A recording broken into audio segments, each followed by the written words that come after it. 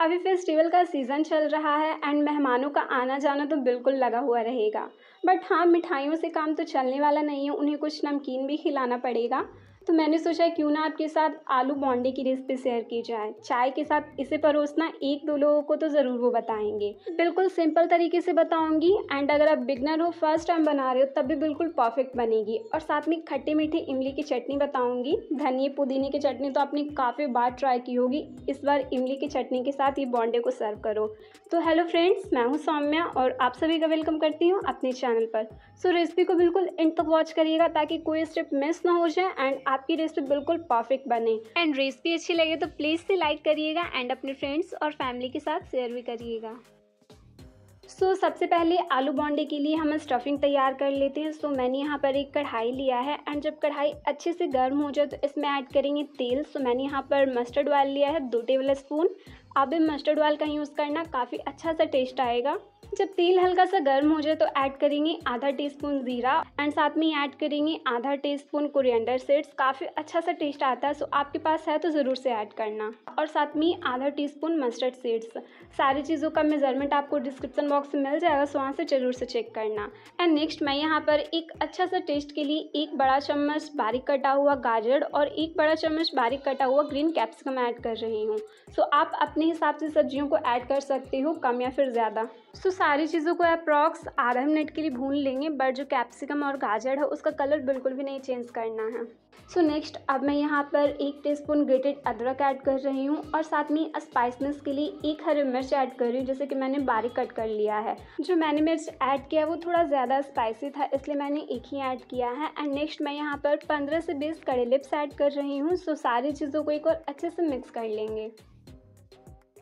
And next मैंने यहाँ पर 10 से 12 उबला हुआ आलू लिया है एंड आलू को बिल्कुल ठंडा करके यूज़ करना है। अगर गर्म आलू का बोंडा बनेगा तो फटने का डर काफ़ी ज़्यादा रहता है और साथ में जो स्टफिंग बनकर तैयार होगा वो काफ़ी ज़्यादा गीला और मैसी सा रहेगा, उसकी वजह से फटने का डर काफ़ी ज़्यादा रहता है। सो मैं आपको सजेस्ट करूँ कि आप ठंडा आलू का यूज़ करना और प्लस में ठंडा नहीं है तो आप पाँच से दस मिनट के लिए उसे फ्रीज़ में रख लो। सो आलू को ऐसे ही हम हाथों से रफली मैश करके ऐड करेंगे। कोई ज़रूरत नहीं है कि बिल्कुल बारीक रहना चाहिए। कोई छोटा बड़ा टुकड़ा रहेगा तो काफ़ी ज़्यादा अच्छा लगता है। सो आलू को भी हम मसाले के साथ में बिल्कुल अच्छे से मिक्स कर लेंगे। देख सकते हो, आलू काफ़ी अच्छे से मिक्स हो चुका है सो इस स्टेज पर कुछ स्पाइसेस ऐड करेंगे। सो सबसे पहले मैं यहाँ पर एक टीस्पून साल्ट ऐड कर रही हूँ। आप नमक अपने हिसाब से कम या फिर ज़्यादा कर सकते हो एंड नेक्स्ट मैं यहाँ पर वन बाई फोर टी हल्दी का पाउडर ऐड कर रही हूँ, और साथ में एक टी भुना हुआ गोलकी और ज़ीरा का पाउडर ऐड कर रही हूँ। आप दोनों में से कोई एक ऐड कर सकते हो बट दोनों अगर है तो आप दोनों ऐड कर लेना। एंड साथ में एक टी धनिया पाउडर ऐड कर रही हूँ, और दो टी काश्मीरी लाल मिर्च ऐड कर रही हूँ। काश्मीरी लाल मिर्च थोड़ा कम तीखा रहता है, इसलिए मैंने दो टी स्पून यूज़ किया है बट अगर नॉर्मल वाला यूज़ कर रहे हो तो आप एक टी स्पून यूज़ करना। एंड साथ में one by four tea spoon गर्म मसाला ऐड कर रही हूँ तो वो सारी चीज़ों को बिल्कुल अच्छे से मिक्स कर लेंगे। सो फाइनली देख सकते हो कितना ज़्यादा चटपटा लग रहा है। ऐसे ऐसे खाने का मन कर रहा है। सो so अब मैं फ्लेम को कर दे रही हूँ ऑफ़ और बारीक कटा हुआ धनिया पत्ता स्प्रिंकल कर रही हूँ। सो so इसे भी कर लेंगे अच्छे से मिक्स एंड लास्ट ऐड कर रही हूँ आधा कटा हुआ नींबू का रस। आप चाहो तो आमचूर पाउडर ऐड कर सकते हो एक टी या फिर एक टीस्पून चाट मसाला ऐड कर सकते हो। सो so, रेडी है बिल्कुल छटपटा सा आलू स्टफिंग आप इससे पूड़ियाँ या फिर कचौड़ियाँ भी बना सकती हो। सो so, कल ही मैंने आपके साथ आलू कचौड़ी और साथ में स्ट्रीट स्टाइल आलू सब्ज़ी की रेसिपी शेयर की है। सो इंड स्क्रीन में वो वीडियो लगा दूँगी। आप उसे इस फेस्टिवल ज़रूर से चेक करना। तो चलिए आलू को हम बिल्कुल ठंडा करके यूज़ करेंगे। तब तक हम इमली की चटनी बना लेते हैं। सो so, मैंने यहाँ पर एक पैन लिया है एंड पैन में दो टीस्पून मस्टर्ड ऑयल ऐड कर रही हूँ। एंड जब तेल अच्छे से गर्म हो जाए तो ऐड करेंगे आधा टीस्पून ज़ीरा। और साथ में ऐड करेंगे एक टीस्पून पचफोरन। आप इसे क्या कहते हो मुझे कमेंट सेक्शन में ज़रूर से लिखना। एंड इसमें कौन कौन से सेट्स होते हैं स्क्रीन पे मैं आपको मेंशन कर दूँगी। आप देख लेना। एंड नेक्स्ट ऐड कर रही हूँ one by eight tea spoon हींग। काफ़ी अच्छा सा टेस्ट आता है सो आप ज़रूर से ऐड करना। सो सारी चीज़ें बिल्कुल अच्छे से चटक चुकी है सो इस स्टेज पर मैं आधा कप इमली का प्यूरी ऐड कर रही हूँ। और साथ में वन बाई फोर्थ कप पानी ऐड कर रही हूँ। सो सारी चीज़ों को अप्रॉक्स एक से आधा मिनट के लिए पका लेंगे। एंड जब अच्छे से उबलने लगे तो इस स्टेज पर ऐड करेंगे आधा टीस्पून साल्ट और साथ में दो टेबल स्पून चीनी। आप चीनी की जगह पर एक टुकड़ा गुड़ भी ऐड कर सकते हो। और साथ में एक टीस्पून मसाला ऐड कर रही हूँ। इस मसाले में धनिया गोलकी जीरा और लाल मिर्च भुना हुआ है। So, चटनी की कंसिस्टेंसी को मैनेज करने के लिए मैं यहाँ पर एक टीस्पून कॉर्नफ्लोर ले रही हूँ जिसे कि वन बाई फोर्थ कप पानी में मिक्स करके अच्छे से ऐड कर रही हूँ। सो वापस इमली की चटनी को दो मिनट के लिए कंटिन्यू चलाते हुए पकाएँगे।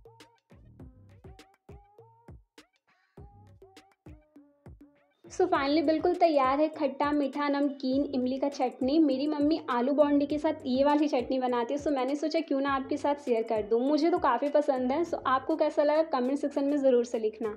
तो चलिए, अब आलू बॉन्डी को तैयार कर लेते हैं।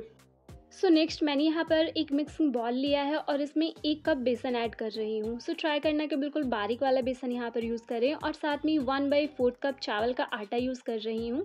सो चावल के आटे से जो बॉन्डा है उसका ऊपरी लेयर काफ़ी ज़्यादा क्रिस्पी रहेगा। सो आप इसे ज़रूर से ऐड करना।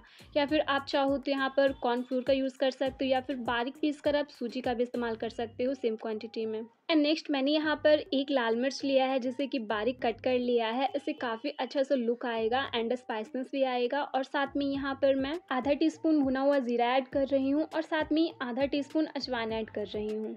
अजवाइन से हमारा डाइजेस्टिव सिस्टम काफ़ी अच्छा रहता है सो आप इसे ऐड कर सकते हो। और साथ में एक टी स्पून साल्ट ले रही हूँ और one by four tea spoon हल्दी का पाउडर और साथ में एक टी स्पून काश्मीरी लाल मिर्च ऐड कर रही हूँ सो सारी चीज़ों को बिल्कुल अच्छे से मिक्स कर लेंगे। सो so, चलिए बेसन का घोल बना लेते हैं। सो मैंने यहाँ पर आधा कप पानी लिया है। जिस हिसाब से पानी लगेगा उस हिसाब से ऐड करेंगे। तो पानी को थोड़ा थोड़ा ऐड करना है। अगर आप डायरेक्ट ऐड कर दोगे तो काफ़ी सारी गुठलियाँ हो जाएगी एंड उसे तोड़ने में बहुत ज़्यादा प्रॉब्लम होगा। सो परफेक्ट बेसन का घोल बनाने के लिए मुझे एक कप पानी लगा है एंड इसकी कंसिस्टेंसी आप देख सकते हो, बिल्कुल परफेक्ट है। इससे ना तो ज़्यादा थिक रखना है और ना ही ज़्यादा थीन रखना है। अब पाँच से सात मिनट के लिए रेस्ट पर छोड़ देंगे घोल को, क्योंकि जो सूजी वो हल्का फल्का भी फूलेगा। तो जब तक ये रेस्ट कटता है, चलिए जो आलू बॉन्डा है, उसके लिए आलू तैयार कर लेते हैं। सो आलू काफ़ी अच्छे से ठंडा हो चुका है सो इसका हम बॉल बना लेंगे। तो आप अपने हिसाब से छोटा या फिर बड़ा बॉल बना सकते हो। मैंने थोड़ा नींबू से बड़ा रखा है, क्योंकि जो आलू बॉन्डा होता है, उसका साइज़ थोड़ा बड़ा होता है एंड बिल्कुल गोल करने की कोई ज़रूरत नहीं है। थोड़ा अनसेप भी रहेगा तो चलेगा। तो चलिए, इसी तरीके से मैंने सारे बॉल्स को बनाकर रेडी कर लिया है। अप्रॉक्स छः से सात के आसपास बना है। सो नेक्स्ट घोल भी काफ़ी अच्छे से सेट हो चुका है। एक बार इसे अच्छे से मिक्स करेंगे। एंड चलिए आलू का बॉल ऐड करेंगे और इसे तल लेते हैं। सो so, मैंने पहले से तेल को गर्म कर लिया है। बिल्कुल अच्छे से गर्म करना है एंड फ्लेम को लो टू मीडियम कर दिया है। तो हाथों से बॉन्डे को तेल में डालेंगे। चम्मच और स्पून तो बस दिखावा हो जाता है। आप हाथों से डालो बिल्कुल अच्छा से एक फील आएगा आपको कि आप आलू बॉन्डा बना रहे हो। तो एक बार में जितना आता है दो तीन आप डाल सकते हो। बॉन्डी को लो टू मीडियम फ्लेम पर तलना है हाई फ्लेम बिल्कुल नहीं रखना है। सो जब आधा मिनट के आसपास हो जाए तो साइड से हम तेल को बॉन्डी के ऊपर डालेंगे ताकि जो ऊपर का लेयर है वो भी क्रिस्पी हो जाए। सो so, एक मिनट के आसपास हो चुका है मैं सारे बॉन्डे को पलट दे रही हूँ एंड देख सकते हो काफ़ी अच्छा सा कलर आया है एंड बिल्कुल भी चिपका नहीं है कढ़ाई में और बिल्कुल भी ये फटा नहीं है। सो so, अलट पलट के हम बॉन्डे को तेल में तल लेंगे तो अप्रॉक्स आपको चार से साढ़े चार मिनट का टाइम लग जाएगा लो टू मीडियम फ्लेम पर। एंड लास्ट देख सकते हो, काफ़ी अच्छे से तलकर तैयार हो गया है सो इस स्टेज पर मैं तेल से बाहर निकाल ले रही हूँ। एंड फाइनली इसका लुक देख सकते हो, कितना ज़्यादा टेस्टी लग रहा है। आप इसे चटनी के साथ एंजॉय करो, बिल्कुल मज़ा आ जाएगा। सो सेम प्रोसेस से दूसरे बैच को भी तल लेंगे। तो सारे यहाँ पर सात बॉन्डा बनकर तैयार हुआ है। आप अगर इस क्वांटिटी का यूज़ करते हो तो आपका भी सात से आठ के आसपास तैयार हो जाएगा।